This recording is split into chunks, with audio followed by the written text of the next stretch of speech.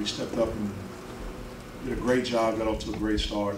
Um, Really shooting the ball well, we were moving it well, uh, getting out in transition. I thought our defense was pretty good early.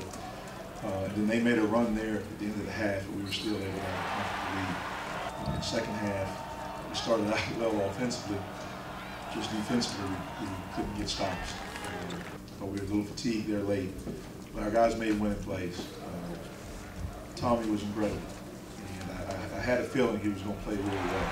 Tommy stepped up and had one of the best performances I've seen in Lloyd Noble since I've been here. One of the best performances I've seen for a guard, especially a freshman guard. The game is really slowing down for me now. At first it was moving fast. Uh, I was trying to make the home run plays and turning the ball over. Now I'm just relaxed and making the easy plays and taking open shots. Yeah, I felt like the rhythm was there.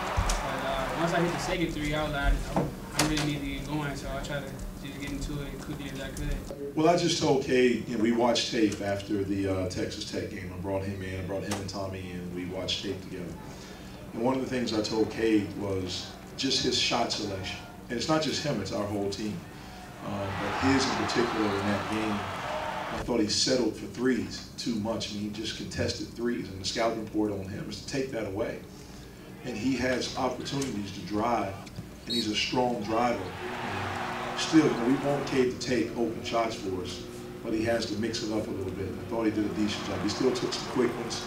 Uh, sometimes Cade gets going too fast sometimes, but I'd rather have a guy do that than the guy you have to make go a little bit faster.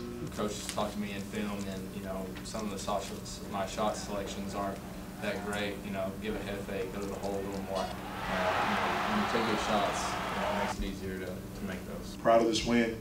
Um, got a tough one coming up on Saturday. Uh, we got to get some rest and uh, start getting ready for Nebraska.